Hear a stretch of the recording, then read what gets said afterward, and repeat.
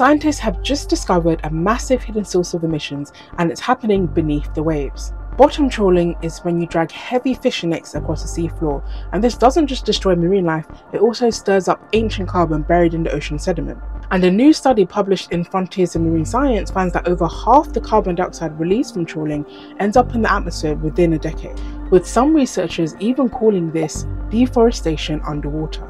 In fact, bottom trawling emits twice as much carbon each year as the global fishing fleet burns in fuel, and it's on par with the emissions from the entire aviation industry.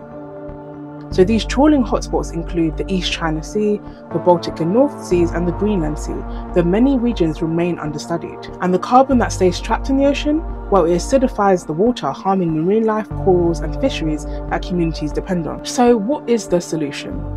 Well, researchers are hoping that countries will include ocean emissions in its climate plans.